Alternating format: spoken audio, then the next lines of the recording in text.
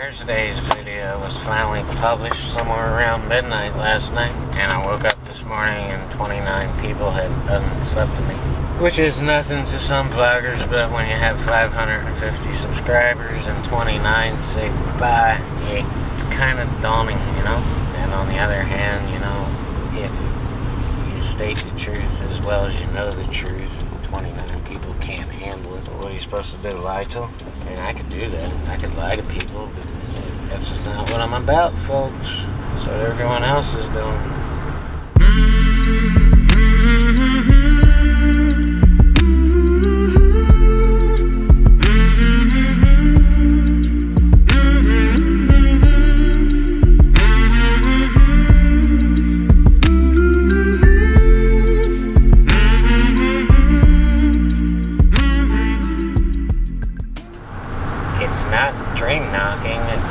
That's how people are taking it, if you're a small creator trying to become a big creator, I'm on your side, man. I just think you should deal with reality and the truth. So it's a kind of desperate effort to try to make things better by knowing the truth and dealing with the truth from this point forward. I guess some people just can't handle that, you know. There's a little bit of wordplay in that in that title of that video. It, it doesn't say how to get rich and famous on YouTube. It says how to be rich and famous on YouTube. Big, big, huge difference there. Enough about that. I said it all in that video. There's no point in continuing to harp on it. Uh, now it's off to making the best video I can make, no matter what. So, here we go.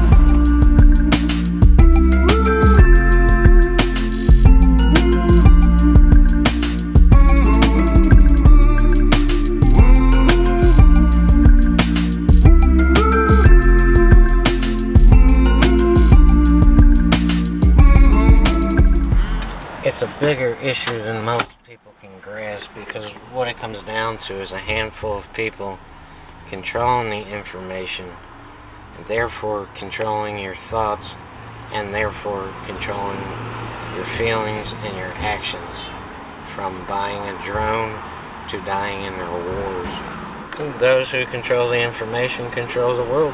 That's all there is to it. It's done out of greed. It's done for money. And this is why metaphysics was banned in so many countries, including at one point the United States of America. And because those, the people who learn how to think for themselves, couldn't be controlled. Their thoughts and actions could not be controlled. So that was no good for the rich people, so they made sure that nobody practiced metaphysics. The question is not how can we make sure that John's getting the proper information. They know more about you than you think they know. And so I go to the internet, I want a drone to make my vlogs better, and they know that. So the question isn't how do we make sure every nickel of John's money is well spent? John's a Democrat. He wants to believe this, he wants to believe that, he wants to believe Trump is a corrupt, crazy man, and he wants to believe that Hillary Clinton is God's gift to politics. So, how do we profit on this? So, the question is not uh, how can we make sure John gets the best drone for his money? The question becomes how do we profit off this? How can we get a piece of that $1,200 he's about to put out for a drone? So I wind up with the drone that Google wants me to buy, not the drone that's the best available drone for the money. Because the best available drone for the money might not be advertising on Google. Google won't get a piece of that action. It's just, it's all done in the name of money and greed. Because they're not telling you the truth. What they're telling you is what they want you to believe so they can sell their plastic shit from China. You think I'm making this up? Let's do this. We can uh, we can run a test on this. Let's let's find a company that's giving Google a big percentage of their ad budget, okay? And let's find the product and let's buy the product and let's do a review on the product and just absolutely rave about it. Tell everybody it's awesome. And let's also make this video poorly produced, poorly edited, just a piece of dog shit, but still raves about whatever this product is. And then I'll also um, pay Google or YouTube to advertise and promote push this video. Now watch this video get a massive amount of traffic. And it's not based on truth. I'm going to lie all through this damn thing. And somehow convey to the people, look, don't buy this piece of shit because I'm lying to you as an experiment. But we're going to do it and um, and watch the traffic, watch my subs go through the roof. And it's all because Google's making a lot of money off that video. Google is not making money off your video, it's not going to be seen by anybody. So the way to go viral, the way to the way to get popular is to lie, to understand how Google thinks, and to push their agenda, not your agenda, Google's agenda. And imagine this. Imagine, imagine you yourself controlled every thought of every human being. What are you, what are you gonna do with that kind of power? What you're gonna do is make a whole lot of money with it because you like money I like money, everybody likes money, and those who say they don't like money are full of shit because it equates to freedom. It equates to the lack of, of stress. It equates to health. It, it, it equates to excitement and adventure. I mean, you can't do much of anything without money. And that's the fact of the situation. So you're going to do what makes you money. And you're not going to stop and say, oh, you know what, I'm sorry, I was just lying to you. As the money, as the millions of dollars are pouring into your bank account.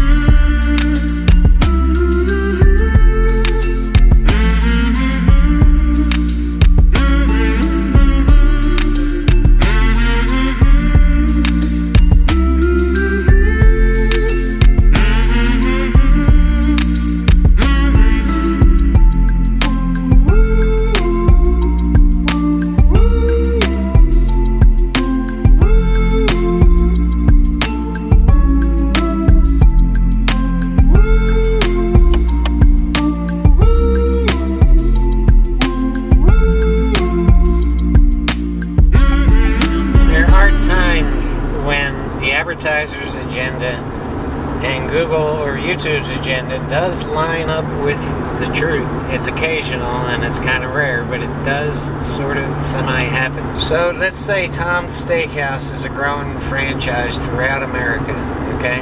And Tom decides to run his advertisement campaign on YouTube. So you run across, as, as a YouTuber yourself, you run across Tom's commercial saying, We have the best steaks in America at the best price. He's going to say something like that. That's what they do. So you, as a YouTuber, are trying to figure out how to make money. And you watch this commercial, and you're going to go visit Tom's Steakhouse. You get there and you eat, you have a great experience, and you genuinely eat the steak that you believe is the best steak you've ever had in your life. As a YouTuber, you can make a video saying this is the best steak in America because you have not had every steak in America. Nobody has. But you can, as a human being, say this is the best steak I've had in my lifetime, and you make a review of Tom's Steakhouse. And you can also include that this is a good price for this quality of steak. None of that would be lying if you legitimately believe that. So what's going to happen there is because Tom's Steakhouse is advertising with YouTube and giving them a lot of money to run this commercial, you as a YouTuber just passing by this issue are going to get traffic to your video because your video is going to increase the sales of Tom's Steakhouse and Tom is going to say, hey, this was money well spent. Everybody's jumping on this bandwagon. Google wins, Tom's Steakhouse wins, so the advertiser's happy. They continue to advertise YouTube. Your video helps YouTube's agenda, so you win too. Now, if you if you go to, if you visit Tom's and you're just getting an okay steak. You've had way better. And yeah, the price is good, but you're just getting garbage. You're not going to get a hit, man. You're going to get your average, you know, couple hits on that, and YouTube's not going to make sure you get any traffic. So your choice as a vlogger or a reviewer or just a YouTuber who makes videos is at that point, if it's not that great, the steak's not that great, you can lie or just not do the review. Because if you tell the truth, you're going to lose. What you have now, more and more, are people making videos that are just flat out lies because making videos is what they love to do, what they know how to do, and they want to be rich, famous YouTube vloggers. But you know who loses in that equation? And that's the viewers. That's the consumers. So, I mean, if you can live with that, I think there's something wrong with you. If you need money that bad to mislead consumers, now I just think you're a piece of garbage. We all need money. We all love money. I'm no better than anybody else. Nobody loves money more than me. The difference with me is I'm not willing to go below my morality to make it. I don't have to. I have successful businesses operating right this second. I just think somebody somewhere has to stand up and tell the truth. I think it will prevail. Maybe YouTube will just delete my whole channel and all these videos will be toast and no one will ever know the truth. But I'll walk away saying I kept my chin high and I stood for my own morality and what I believed was best for the viewers and the consumers. From the moment we enter the corrupt thought machine called the U.S. public school system, we're taught how to be liars, fakers, actors, and just robotic sheep for the machine. You go to school and you sit up straight and you fold your hands and you allow your brain to be force fed whatever information they want you to believe.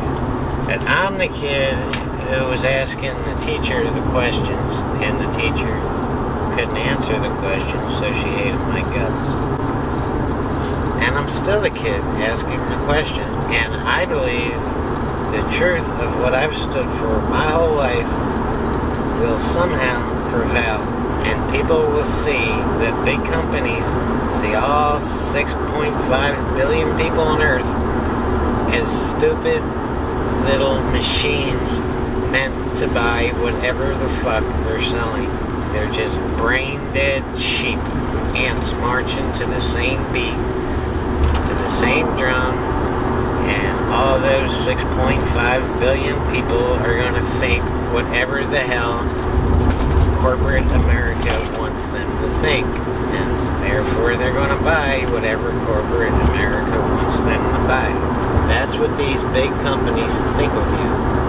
Just programmable idiots. And in a lot of cases, that's what they are. So here you are in 2018, all grown up, and you're making videos on YouTube, and you do what YouTube wants you to do, and you think what YouTube wants you to think, and you don't rock any boats, you're just a good little student doing your thing. Just sit down, shut up, don't rock the boat, and make your stupid little five minute videos. There's a lot of people on the internet who consider themselves open minded and smart.